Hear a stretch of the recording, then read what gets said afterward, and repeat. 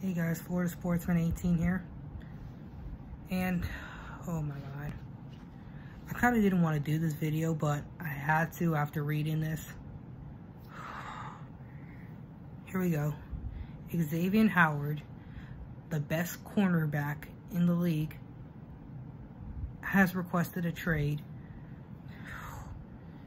Oh. I don't know what to say right now. I cannot believe this. Like now, now you want out of Miami. Really, right now, after you knew with after with contract situation, we had the entire whole off season. Like, why now? Why when training camp starts, you ask for a trade? Like, come on, really? We had you guys you had the whole off season like back in March or February, you had the whole entire off season to request this trade, and now you're gonna want out. Like, come on, really? Now, I don't know what we're gonna do at corner. Like, I really don't know what the plan is for cornerback corner, even though because I don't really don't like these any replacements because it, it, just is just in case Xavien now. Even though Xavien Howard requested trade, I know people are nervous or, or upset about it, but doesn't mean he's going to get traded. You don't know he will probably get traded, but I don't know what's gonna happen, but.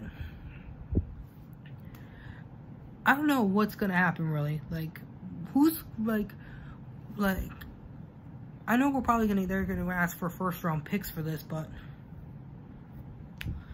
this is really oh my god, this is much worse, a lot worse than the Minkah Fitzpatrick trade that happened like two years ago, or going close to two years ago. But come on, Xavien why now? Come on, man, this team's counting on you.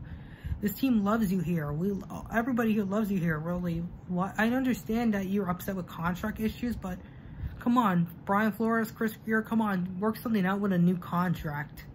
Do something, come on. We cannot afford to lose the best cornerback in the league. Really. Even though our defense could be very good this upcoming season, but we can't lose our best cornerback. Like, we need this guy, really need him. I really don't want to lose this guy. I'm really hoping maybe he can do like like hold up to it maybe till until the end of the season like Aaron Rodgers did. Like Aaron Rodgers the whole season wanted to trade and then finally gonna stay with the Packers. Like and I'm hoping maybe Xavien Howard can probably can stay. We can work this contract out to the whole season. Like I don't want to lose Aaron, not Aaron. I don't want to lose. Sorry guys, I made a mistake. I don't want to lose Xavien Howard. I don't. Like I get you you're not happy with contract issues, and I know you're not happy here, but Come on, man. Hung on to the season, man. Until next, until the off season, and then we into and the we and then have contract time. Come on, not this late in this season. Come on. I'm Like, there's nothing really interesting I want to trade for, even though we can trade for first round draft picks. But I don't want to lose Xavien Howard. I don't.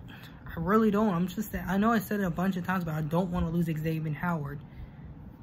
Like, there's nobody, there's nobody, there's like no other corners I really have faith in. Like, I don't like Noah Igbinoghene. I don't think he's even that good. I watched them, if anyone didn't remember, that remember last year, that game against the Bills, week two, and when Stefon Diggs had a big game? Yeah, because even Noah Igbinoghene couldn't even guard Stefon Diggs. Like, the whole game, he got burned. And that's why they kept getting the ball to, that's why Josh Allen kept giving the ball to him, because he knows that Igbinoghene was struggling. But I don't know what's going to happen, really.